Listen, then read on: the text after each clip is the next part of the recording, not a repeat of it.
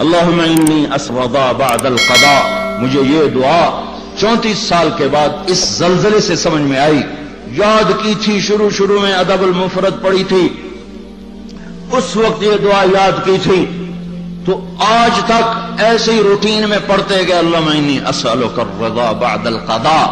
आज पता चला कि मेरा नबी हमें क्या सिखा गया है कि जब अल्लाह की तरफ़ से कोई सख्त फैसले आए, सख्त फैसले आए तो ये मांगो, ए अल्लाह, अपनी तकदीर पे मुझे राज़ी कर दे, अपनी तकदीर पे मुझे ये नबी मांग रहा है, नबी या अल्लाह, अपनी तकदीर पे मुझे राज़ी कर दे। और वो मस्जिद के इमाम ने हम छोटे छोटे थे, हमें नहीं पता था। अल्लाह, हमारे माँ बाप को जजा दे। उस वक्त तो माँ बाप मस्जिद में भेजा करते थे। अब तो ग्रामर स्कूलों को भेजने का चक्कर और सिटी स्कूल भेजने का चक्कर। अब तो माँ बाप भी जालिम, औलाद भी जालिम। माँ बाप भी गाफिल, औलाद भी गाफिल। हमारे माँ बाप भी वली अल्लाह कोई नहीं थे। लेकिन फिर भी उन्हें इतना शोर ज़रूर था कि हमें मार पिटाई करके मस्जिद का धक्का ज़रूर देते थे। वो बूढ़े इमाम ने ईमान के लफ्ज याद करवाए थे आमन तो मलाइकत ही व कुतुब ही व रसुल ही वल कदर खैर ही व शर्र ही मिन अल्लाह वल बाथ बाद अल वल कदर खैर ही व शर्र ही मैं ईमान लाया अल्लाह तुझ पर, तेरे फरिश्तों पर, तेरी किताबों पर, तेरे रसूलों पर, तेरी आखरत पर, और ईमान लाया मैं तेरी तकदीर पर। अच्छी भी है तो तेरी तरफ़ से, और मुसीबत भी है तो तेरी तरफ़ से। जब लोग जिना करते हैं बेबाकी और दिलेरी के साथ। और जब लोग शराब पीते हैं, महफिलें सजाकर और जब लोग मौसीकी की महफिलें सरेआम सजाते हैं नाचने वाली घुंघरू बांधे नाच रही है। और देखने वाले भी मुसलमान, नचाने वाले भी मुसलमान, नाचने वाले भी मुसलमान, शराब पीने वाले भी मुसलमान, पिलाने वाले भी मुसलमान, बनाने वाले भी मुसलमान, बेचने वाले भी मुसलमान। जब ये तीन काम धरती पर होते हैं, जब जिना होता है, बेहयाई ढिटाई के साथ, जब शराब चलती है सरे आम जब मौसीकी की महफिलें जगह जगह लगती हैं तो मेरे अल्लाह को आसमान पे गैरत आती है। और वो फरमाता है, ज़मीन को झंझोड़ दो, ज़मीन को हिला दो, ज़मीन को हिला दो। जहाँ से मर्ज़ी अब हिला दे। ये उसका अपना निज़ाम है। देखो ना, फिसलता पाँव है, टूटता हाथ है। तो हाथ कहे पाँव से जालिम, मेरा क्या कसूर था? फिसला तू टूटा मैं। फिसला पाँव फटा सर। तो पाँव फटता सर क्यों फटा है? ये एक ही जिसम है जहाँ भी चोट लगेगी सारा जिसम हाय हाय करेगा। एक ही उम्मत है जहाँ भी जर, जरब लगेगी सारे सबकी हाय हाय हो जाएगी।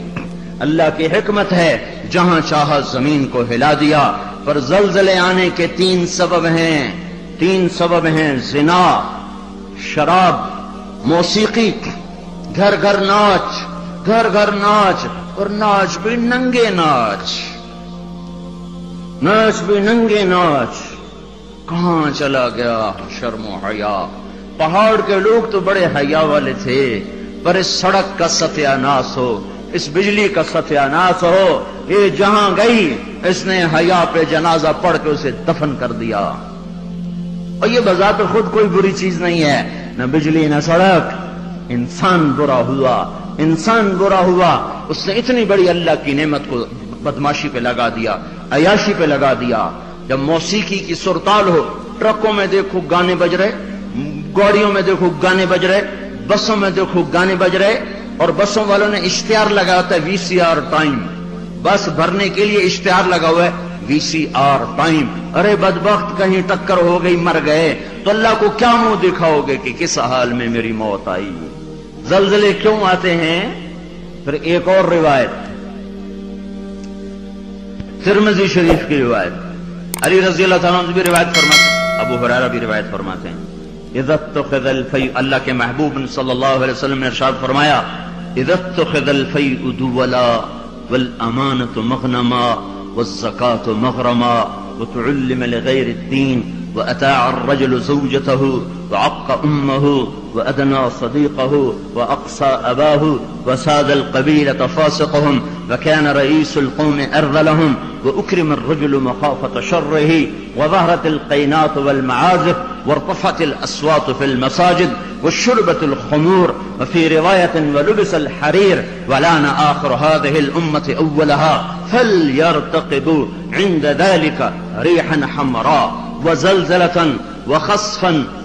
व मस्खन व कदफन व आयात मुतताबात निज़ाम बालिन कुछ असल को हो फतताबा जल्जले क्यों आते हैं कैसे आते हैं साइंसदान बोला प्लेटें टकराई क्यों आते हैं वो चुप हो गया तो हम बोले जल्जले इसलिए आते हैं कि मेरे महबूब सल्लल्लाहु अलैहि वसल्लम ने फरमाया जब हुकूमत के अफसर बदयानत हो जाएँगे जब हुकूमत के अफसर बदयानत हो जाएँगे और हुकूमत के खजाने को खुद लूट जाएँगे।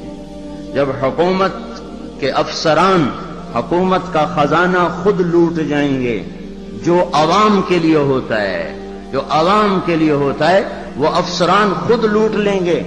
मेरे एक दोस्त सेक्रेटरी रिटायर हो गए।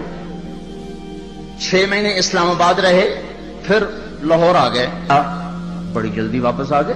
कहने लगे, अगर मैं एक साल वहाँ रह जाता तो या मैं पागल हो जाता या मैं भी उनकी तरह बदयानत हो जाता। एक साल। कि शाम को जब बैठते तो एक सेक्रेटरी बोलता, इतने बना लिए, इतने बना लिए। वहाँ प्लाट वहाँ प्लाट, वहाँ घर वहाँ घर। स्विस बैंक में इतने, अमेरिका में इतने, इंग्लैंड में इतने। और मैं बैठ के सोचता तो मेरी तो रिटायरमेंट करीब आगे मैं तो अपना जाति घर भी ना बना सका। तो मुझे ख्याल आया, अगर छह माह में और रह गया तो या मैं इनकी तरह जालिम भेड़िया बन जाऊँगा, या फिर मैं पागल हो जाऊँगा। तो मैंने उनके हाथ जोड़ो, मुझे वापस लाहौर भेज दो, किसी खुड्डे में डाल दो, बाकी वक्त आफियत से गुजर जाए। ये सिर्फ़ सेक्रेटरी की बात नहीं, सिपाही से लेकर सेक्रेटरी तक, एक क्लर्क से लेकर जज तक और वज़ीर तक, सब एक लाइन लगी हुई है।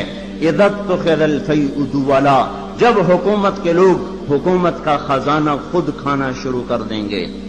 वल अमानत मगनमा। सर्व हुकूमत वालों की बात नहीं है। अवाम कैसे होंगे? अवाम भी बदयानत हो जाएँगे। अवाम भी बदयानत हो जाएँगे। और ख्यानत करना हुनर समझा जाएगा। धोखा देना हुनर समझा जाएगा। फ्रॉड करना हुनर समझा जाएगा। और अगले की काट लेना हुनर समझा जाएगा। और अमानत को हड़प कर जाएँगे। अमानतें खा जाएँगे। विल अमानत मगनमा व जक़ात मगरमा। और क्या होगा? मालदार लोग बखील हो जाएँगे। जक़ात देना छोड़ देंगे। और क्या होगा? वतुल्लमगैर दीन ओलामा के कदम भी अल्लाह की बजाय मखलूक की तरफ़ उठना शुरू हो जाएँगे। और दीन का इलम भी आखरत की बजाय दुनिया के लिए तलब किया जाएगा।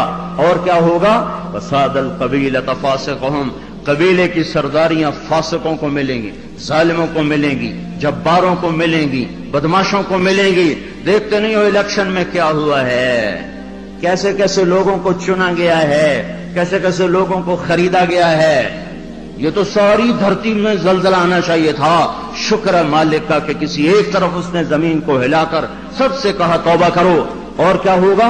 वकान रईसल कौम अर्दलहम, हुकूमत निकम्मे। निकम्मे तरीन इंसानों के हाथ में होगी, जिनके सीनों से दिल निकलकर पत्थर फिट होंगे, जिन्हें इंसानियत के गम और दर्द से कोई सरोकार ना होगा, उन्हें सिर्फ़ अपना पेट नज़र आएगा, उन बदबख्तों को और कुछ नज़र ना आएगा। और क्या होगा? उक्रम रजुल मखाकत शर रही एक दूसरे को सलाम किए जाएँगे, इफ्तार पार्टियाँ दी जाएँगी, और अंदर में बहुत छुपा होगा। अंदर में नफरत छुपी होगी, अंदर में उसके शर से बचने के लिए ये सारे हु हा हो रहे होंगे। और क्या होगा?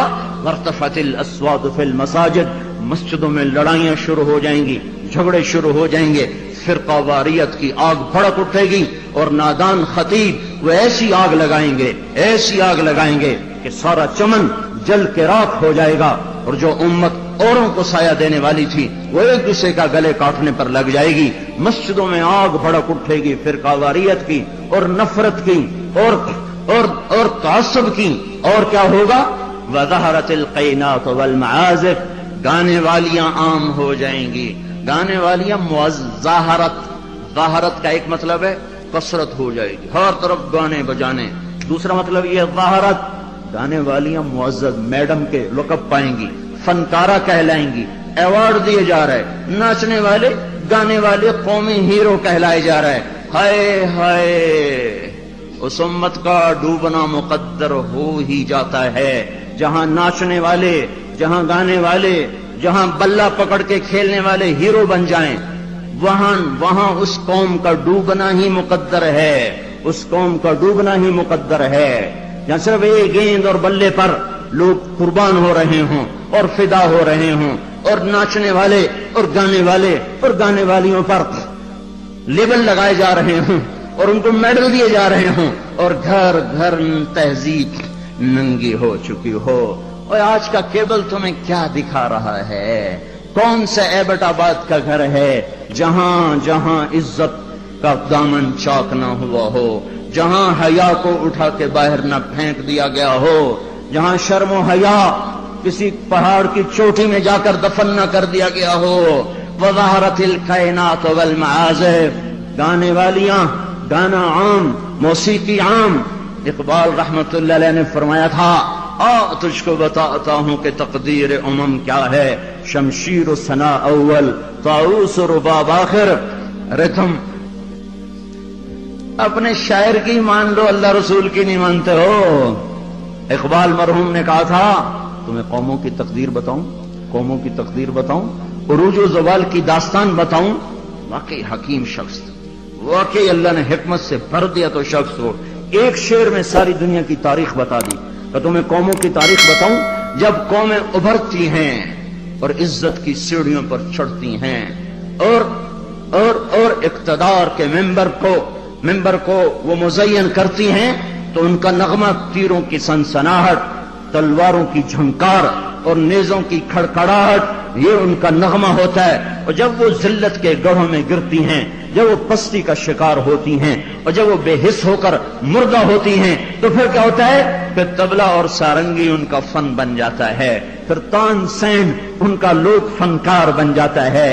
आए हाय, कौमों का जवाल मौसीकी है और कौमों का अरूज इन इन इन इन गलास्तों से निकलना है। मेरे भाइयों मेरे भाइयों मेरे भाइयों। और क्या होगा? वह अदना अता रजुल जऊजत हो वह अक्का उम्मा हो औलादें माओ की नाफरमान हो जाएँगी और बीवियों का दम भरेंगे और माओ के नाफरमान हो जाएँगे। जिनका दूध पिया, उन्हें गुर्राएँगे। और क्या होगा? वह अदना सदीक हो वह अक्सा अबा हो दोस्त को देख के बाहें फैला देंगे, आओ जी आओ जी आओ जी। और बाप को देख के धक्का देंगे, कन्नी कतराएँगे, राहें बदलेंगे। बूढ़ा कोई काम न कह दे, बूढ़ा किसी काम को न कह दे। माँ बाप जलील किए जाएँगे। दोस्तों का दम भरा जाएगा, बीवियों के गुलाम बन जाएँगे माओ को जलील कर देंगे। अल्लाह के नबी ने क्यामत को किससे जोड़ा है? अल्लाह के नबी ने क्यामत को शिरक से नहीं जोड़ा। जब पूछा गया, या रसूल अल्लाह क्यामत कब आएगी? आपने कहा, अल्लाह को पता कब आएगी। का जी, कोई निशानी तो बता दें। तो आपने फरमाया, निशानी ये है, जब तुम देखो कि औलादें माओ के साथ नौकरों की तरह सलूक कर रही हो तो समझना क्या मत आ गई। मैंने एक लड़की को देखा, अपनी माँ को कह रही थी, बकवास न कर। और उसकी माँ के मोटे मोटे आँसू उसके गालों पर ढलकते हुए यूँ आ रहे थे कि लगता था अर्श भी हिल रहा होगा।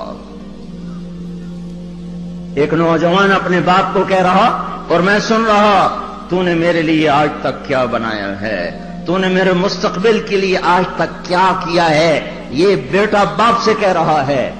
बाप से कह रहा है, और उसका बाप पत्थराई आँखों से उसे देख रहा है कि बच्चा शायद तुझे याद नहीं तेरी खातिर तो मेरी जवानी सारी खुल के रह गई तुझे हंसाने के लिए मैं रोता रहा, तुझे सुलाने के लिए मैं जागता रहा, तुझे खिलाने के लिए मैंने भूख काटी, मैंने धक्के खाए, बाजारों की खाक, दफ्तरों की खाक, दर बदर घूमा, घर घर नगर नगर घूमा, कि तुझे अच्छा खिला दूँ अच्छा पिला दूँ। आए है आज तू मुझसे कहता है, तूने मेरे लिए क्या किया? तूने मेरे लिए क्या किया? मेरे नबी ने फरमाया, जिसने माँ बाप को तंग किया, उन पे अल्लाह की लानत, उन पे फरिश्तों की लानत, उन पे ज़मीन आसमान की लानत, न उनकी नमाज़ कबूल है, न रोजा कबूल है, न सदका कबूल है। एक साहबी अलकमा रज़ी अल्लाह हो मौत का वक्त करीब आ गया। बीवी ने पैगाम भेजा, या रसूल अल्लाह अलकमा मौत के दरवाजे पर हैं। कलमा नहीं पढ़ पा रहे। सहाबी सहाबी सहाबी, कलमा नहीं पढ़ा जा रहा। आपने पूछा, वालदेन में कौन ज़िंदा है? कहा जी, माँ ज़िंदा है। राज़ी है, नाराज़ है? नाराज़ है। बुलवाया, उम्मे अलकमा, मैं आऊँ कि तू आएगी? कहीं यार रसोल्ला मैं आ जाती हूँ। चल के आई। तुझे अलकमा से क्या शिकायत है? माँ को नहीं पता कि वो सकरात में है। उसने तो बाइकाट किया हुआ है। तो वो कहने लगे यार रसोल्ला मुझे अपने बेटे के दीन की कोई शिकायत बहुत नेक बच्चे है। लेकिन या रसोल्ला जब भी मुझसे बोलता था तो ऐसे बोलता था कि मुझे जख्मी कर देता था। उसकी जबान नहीं होती थी, खंजर होता था, जो मुझे चीर के रख देता था। मुझे उसके अखलाक से गिला है। मुझे उसके अखलाक से गिला है। माओ को उमैया रज़ी तला के बेटे जिहाद में चले गए, उधर बूढ़े। तो उन्होंने शेर कहा इजादातिल हमाम तो साकहुर्रन अला बैदात दावा हो तो तुजीकुलहा शराबा। जब कबूतरी अपने नर को बुलाती है, अंडों पर बैठने के लिए तो हमें भी अपना बेटा किलाब याद आता है। अरे जालिम, किस हाल में बाप को छोड़ के चला गया कि हाथ उसके कांपते हैं और माँ माँ गम की वजह से घूंट भी अंदर नहीं ले जा रही? उमर रज़ी अल्लाह को इन अशार का पता चला तो उसके अमीर को पैगाम भेजा के किलाब को वापस भेजा जाए। किलाब वापस आए। कहाँ गए थे? अल्लाह की राह में, अल्लाह की राह में। मस्जिद में आए, कोड़ा उठाया, मार मार मार मार। उसके सर से लहू निकाल दिया, लहू लुहान कर दिया। बदबख्त बदबख्त बदबख्त, बूढ़े माँ बाप को छोड़ के तू जाता है जिहाद में? बूढ़े माँ बाप को छोड़ के तू जाता है? अब जिहाद बादल वालदीन। क्या कर रहा है ये? फिर फरमाया, जब तक तेरे माँ बाप ज़िंदा हैं, तुझे मदीने से निकलने की इजाज़त ही कोई नहीं। और जब माए रुल जाएँ, बाप का हाल ना पूछा जाए तो ज़मीन ना कांपे तो क्या करे? पत्थर ना बरसे तो क्या करें? और क्या होगा? वह शुरबतुल खमोर और शराब पी जाएगी। शराब की महफिलें सजेगी। और जालिम छुप के पीता। सबको बुला रहा है आज मेरे घर में आज। कॉकटेल पार्टी है? शराब की महफिल है। हमारे घर में आज महफिल मौसीकी है। आ जाओ।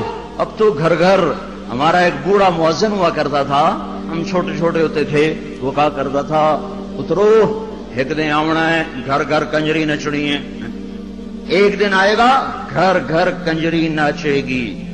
घर घर कंजरी नाचेगी। तो हम कहते, चाचा हाजी, ये तू क्या कहता है? वो कहता, हमें हमारे बड़ों ने कहा था।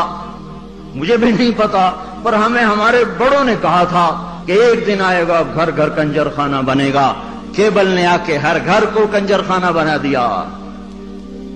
वजाहरतिल कैनात वल माजिफ नंगा नाच हो रहा हो और शर्मो हया से आँखें ना झुके। और क्या होगा? शुरबतुल खमूर, शराब पी जाएगी। और क्या होगा? लुबिसल हरीर और मर्द, नौजवान, मालदार रेशम पहनेंगे, सोने की अंगूठियाँ ठुमकाएँगे, सोने की जंजीरें पहन रहे होंगे। और क्या होगा? वलाना आखिर हादिल उम्मत अव्वलहा। इस उम्मत के आज के लोग पहले लोगों को पागल कहेंगे, बेवकूफ़ कहेंगे, अनपढ़ कहेंगे। पत्थर के जमाने के लोग, हम रॉकेट के जमाने के लोग। जब ये होगा तो फिर क्या होगा? फिर हवाएँ सुर्ख हो जाएँगी, पत्थर बरसना शुरू हो जाएँगे, ज़मीन कप कपाना शुरू हो जाएगी। फटेगी और घरों के घर अंदर चले जाएँगे। फिर अल्लाह ताला ऊपर से पत्थर बरसाएगा, नीचे ज़मीन में धसाएगा और जलजले आएँगे और हवाएँ पागल हो जाएँगी और बादल मुँह ज़ोर हो जाएँगे और बारिशें तूफानी बन जाएँगी। ज़मीन आसमान के तेवर बदल जाएँगे, ज़मीन आसमान की गर्दिश खिलाफ हो जाएगी। जब ये होगा तो ये होगा। मैं सिर्फ़ तर्जमानी कर रहा हूँ। तर्जमानी में मुमकिन है मैं कमी ज़्यादा कर रहा हूँ। मजमून मेरा सच्चा है कि मैं आपको अल्लाह रसूल की बात साफ़ साफ़ सुना रहा हूँ। ताबीर में गलती खा रहा हूँगा, उसमें इंसान हूँ। बात मजमून आपको सही बता रहा हूँ। फिर जल्जले कब आते हैं? जब धरती पे जुल्म होता है, जब खून सस्ता हो जाता है, जब इज़्ज़त के नाम पर सरदारी के घमंड में इसे कत्ल कर उसे कत्ल कर, इसे कत्ल कर, उसे कत्ल कर। जब कत्ल की दुश्मनियाँ पड़ जाती हैं और इंसान मारना और मच्छर मारना बराबर हो जाता है, जब धरती पर बेगुनाहों का खून गिरता है तो फिर ज़मीन जलजलों से भर जाती है। मजलूमों की आहों से अल्लाह का अर्श लरसने लगता है। याद रखो भाइयों, मजलूम एक खानदान है। मुस्लिम, काफिर, मोमिन, मुशरक।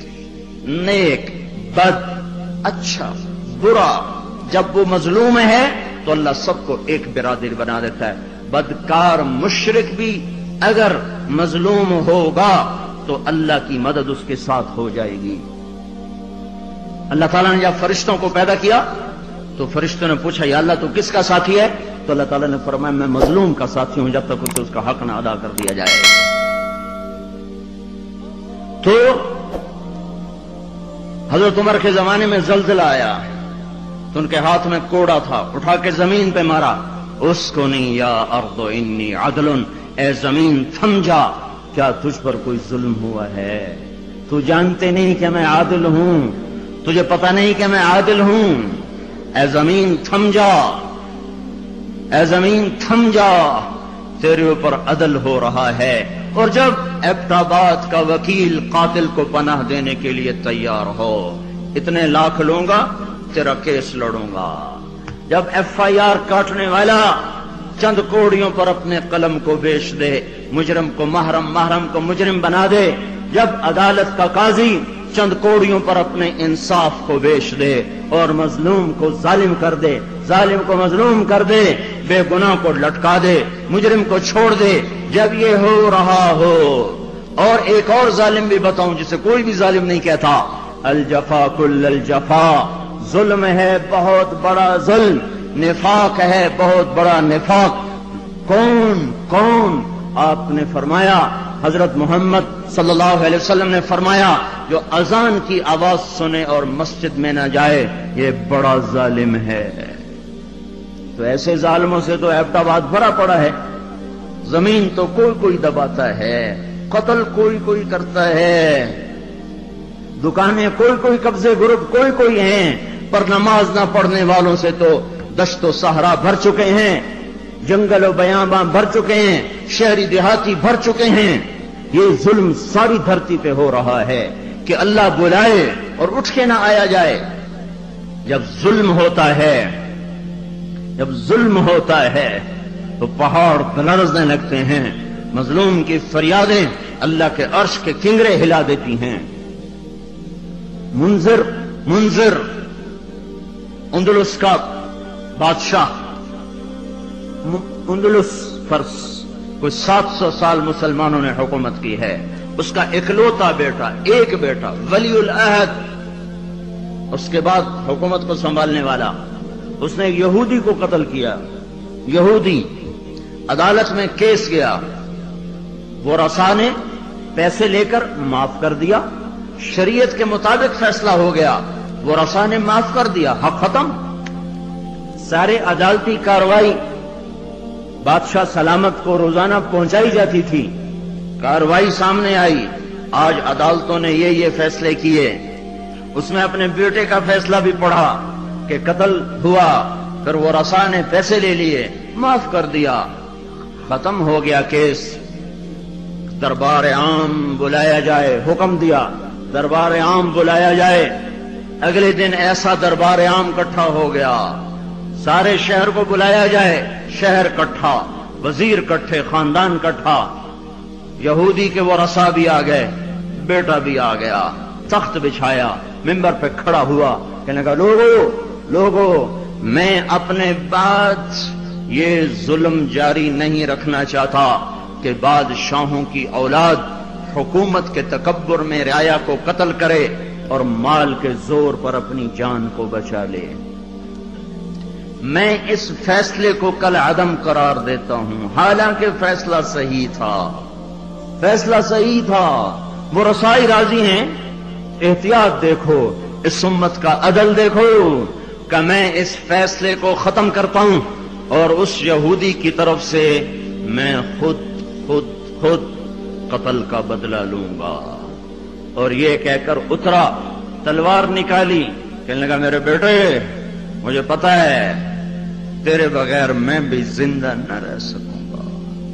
और तेरी माँ को भी तेरी मौत रुला के रख देगी, पर मैं तुझे अल्लाह के अमर पे कुर्बान करता हूँ। अपने हाथ से बेटे की गर्दन उड़ा दी।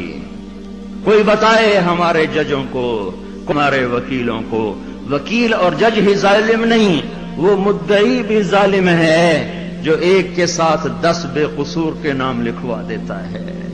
जो एक के साथ चारों को ऐसे फंसा देता है।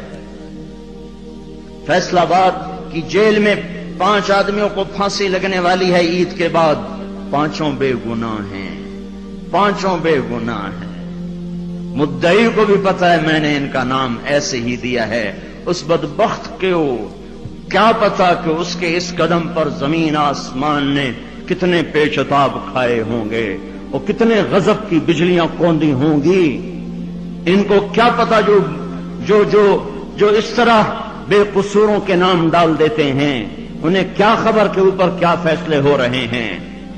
इसलिए तो क्यामत का दिन रखा है। इसलिए तो जहन्नम को भड़काया गया है। इसलिए तो जंजीरों को तपाया गया है, इसलिए तो सांप और बिच्छों को तैयार रखा गया है, इसलिए तो जहन्नम की वादियाँ हैं, पत्थर हैं समूम है, हमीम है दिल मई मी अहमूम है, इसलिए तो भड़कती है, लपकती है, चिंगारती है, चीखती है, पुकारती है, या अल्लाह, भेज दे मेरे पास हर खबीसो खबीसा को, हर नाफरमान को भेज तो देख मैं उनके साथ क्या सलूक करती हूँ। उतरा और अपने हाथों से बेटे की गर्दन उड़ा दी, और वही हुआ जो उसने कहा था, तेरे बगैर मैं भी न जी सकूँगा। नींद उड़ गई। हम हम हमें एक खून का रिश्ता नहीं, ईमान का रिश्ता है। जिस दिन से जल्जला आया है, आँसू नहीं रुक रहे। आँसू नहीं थम रहे। अपने हाथों से बेटे को कत्ल करने वाला, वो कैसे ज़िंदा रह सकता? सारी रात जागता रहता था। और ऐसे बैठा ऊपर देखता रहता था या रोना शुरू कर देता था, फिर इतना रोता कि सरहाना भीग जाता था। चौदहवें दिन खुद भी मर गया। बयालीस साल की उम्र। इन भरपूर जवानी में बेटे के गम ने घुला दिया, पर मेरे और आप तक पैगाम पहुँचा गया कि अदल किसे कहते हैं और जुल्म किसे कहते हैं। जब धरती जुल्म से भरती है तो फिर जलजले आते हैं। जब जिना आम होता है तो फिर जलजले आते हैं। जब मौसीकी की महफिलें सजती हैं तो फिर जलजले आते हैं। जब शराब की जाती है तो जलजले आते हैं। जब माओ को जलील किया जाता है तो जलजले आते हैं। जब बाप को धक्के दिए जाते हैं तो जलजले आते हैं। जब गाने वालियाँ मोहतरम हो जाएँ तो फिर जलजले आते हैं। जब मस्जिदों में लड़ाइयाँ हों तो फिर जलजले आते हैं। जब घर घर मौसीकी के घुंघरू बज रहे हों तो फिर जलजले आते हैं। जब चारों तरफ़ पायल की छंकार हो तो और घुंघरू की छन छन हो तो फिर जलजले आते हैं। जब जालिम सानी शराबियों को सरदार बना दिया जाए तो जलजले आते हैं। जब हुकूमत के काजी जज अफसरान बदयानत हो जाएँ तो जलजले आते हैं। जब ताजर बदयानत हो जाएँ, अवाम सूदखोर हो जाएँ, ये बैंकों में किसका पैसा पड़ा हुआ है? ये ये अहमदाबाद के बैंकों में सेविंग अकाउंट किसने खोले हुए हैं? ये किसको सूद मिल रहा है और ये कौन सूद ले रहे हैं? और जब ताजर बदयानत हो जाए तो जलजले आते हैं, जब जुए पर सारी कौम लग जाए, जब इनामी बॉन्ड खरीद कर दुआएँ मांगी जाएँ कि मेरा बॉन्ड निकल आए ओ जालिम जालिम जालिम, क्या कह रहे हो, क्या कर रहे हो? अल्लाह की हराम करदा चीज़ अल्लाह से मांग रहे हो। अल्लाह ने कहा, जुआ हराम। और एक अल्लाह करे, मेरा बॉन्ड निकल आए मेरा बॉन्ड निकल आए फिर जुए पर जुआ जुए पर जुआ के नंबर खरीदो, सीरियल खरीदो। ओ मेरे भाइयों, जब ऐसे सरेआम जुआ होगा तो जलजले आएँगे। जब सरेआम लड़कियाँ नाचेंगी तो जलजले आएँगे। जब ताजर बदयानत होंगे तो जलजले आएँगे। और जब मालदार बकील हो जाएँगे और जक़ात देना छोड़ देंगे तो जलजले आएँगे। और जब उलमा के कदम अल्लाह की बजाय मखलूक की तरफ़ उठेंगे तो जलजले आएँगे और जब माओ के आँसू पूछने के लिए औलाद के पास वक्त न होगा तो जलजले आएँगे। जब जब शराब पी जाएगी तो जलजले आएँगे। जब रेशम पहना जाएगा और सोने चा, और सोने को मर्द भी सोना ऐसे इस्तेमाल करेंगे, जैसे औरतें इस्तेमाल करती हैं तो फिर जलजले आएँगे। ये मेरे नबी की सच्ची खबरें हैं और ये सब कुछ हो रहा है। मैं आप सारे भाई ज़मीन की सफ़ाई का वक्त आ चुका है। जब गटर उबलते हैं तो फिर कमेटी वालों को बुलाया जाता है। हमारा गटर बंद हो गया है, साफ़ करो। जब तक गंदगी अंदर चलती रहती है, कोई शोर नहीं मचता। जब गंदगी बाहर उबल के आती है, फिर बुलाया जाता है, साफ़ करो, नालियाँ सीधी करो। जब तक बदमाशी और अयाशी चार दीवारी के अंदर और छत के अंदर होती है, मेरा अल्लाह भी दरगुजर करता है। लेकिन जब उबल उबल के बाजारों में आ जाए, सड़कों पे आ जाए, चोटियों पे आ जाए, छतों पे आ जाए, ऐवानों में आ जाए, और और और और शवारे पर आ जाए, और खुले आम आ जाए तो फिर ये गटर है जो गंद बन के निकला, गलाजत बन के निकला। अब ज़मीन कहती अल्लाह, मुझे पाक कर, मुझे पाक कर, मुझे साफ़ कर, मुझे साफ़ कर, मैं गंदी हो गई हूँ, या अल्लाह, मुझे धो दे, मुझे धो दे, मुझे धो दे। फिर अल्लाह जब धोने पर आता है तो फिर या लोग बह जाते हैं या तोबा करते हैं। अब तीसरा रास्ता कोई नहीं बचा। अब तीसरा रास्ता कोई नहीं बचा। अब गफलत की आँख खोलो। अब इबरत की नज़र से चारों तरफ़ देखो। चारों तरफ़ देखो। ये मेरे भाइयों, निशान हैं। चारों तरफ़ बिखरे हुए, फैले हुए। हमें तौबा की दावत दे रहे हैं। फिर एक बात और भी वाजे करूँ। जब अल्लाह पाक किसी कौम को पकड़ता है या ईमान वालों को इम्तिहान में डालता है, शक्ल एक जैसी होती है। शक्ल एक जैसी होती है। एक जगह देना मकसूद होता है, एक जगह सजा मकसूद होती है। माँ असाबकुम मिन मुसीबत फबेमा कसबत कुम वयाफु अन कसीर। तुम पर जो मुसीबत आई है, तुम्हारे हाथों की कमाई है और बहुत सा माफ़ कर दिया गया है। ये अजाब की शक्ल है। ना फरमानों पर जलजला आता है अजाब की शक्ल में।